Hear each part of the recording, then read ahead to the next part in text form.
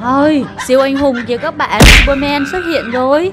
Và chắc đến để xử lý con Godzilla đây. Nó dám hoánh ngành ở đây làm cho các con vật khủng long sợ hãi bỏ chạy. Nhìn siêu anh hùng kìa các bạn. Oh, Superman đã xử lý con Godzilla xong rồi. Godzilla biến mất tiêu rồi các bạn ơi. Các bạn ơi, có một con khủng long cổ dài kia. Ôi, quăng cho nó cái bánh xe thử coi. Ồ, nó nghịch luôn cái bánh xe các bạn. Con này cũng mải chơi phết nhở. Như là con khủng long ba sừng ấy các bạn. Nó đang đứng nó không có đồ chơi hay là Nó giận đấy. Ấy nó giật giật chân các bạn. Còn đây là cái con khủng long gì các bạn có biết không? Con này là cái con khủng long cổ dài ấy các bạn. Mà như kiểu nó nó có cái nhiều nhiều gai ở trên lưng. Nó lạ lắm các bạn nhở. Các bạn thấy không? Nó có đồ chơi mà không thèm mà nó quăng đi rồi các bạn ơi. Úi nó gào thét kìa. Con này là khủng long ăn cỏ, nó hiền lắm đấy các bạn. Kìa, các bạn ơi, đằng sau lưng của cái con khủng long bạo chúa nó cũng có gì là, không biết ở đâu nó đến luôn đấy các bạn. Các bạn thấy không? Kìa.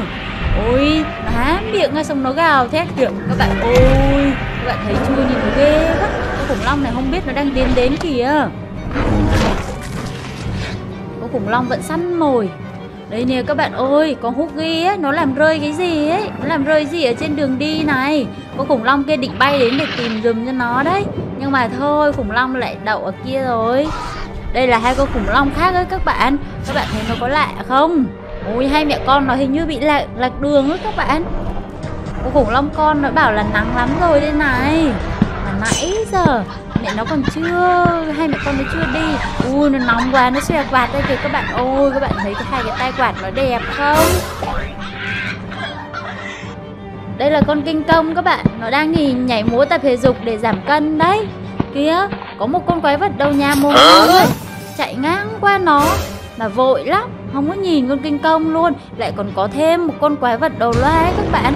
Đang đi chạy theo con quái vật đầu nhà kia kinh công cứ đứng đó tập thể dục ui ở nãy đằng xa kia có một con Godzilla tím các bạn ơi đang phun tia plasma kia. Còn ba con khủng long này nó đang bảo nhau để bỏ chạy nè các bạn. Tại vì nó sợ con Godzilla nó quay lại nó nhìn thấy ôi ba con nó biến nè các bạn ơi. Đấy biến mất tiêu rồi. Godzilla không biết đâu. Ôi, siêu anh hùng kìa các bạn Superman xuất hiện rồi. Và chắc đến để xử lý con Godzilla đây. Nó dám hoành hành ở đây làm cho các con vật khủng long sợ hãi bỏ chạy. Nhìn siêu anh hùng kìa các bạn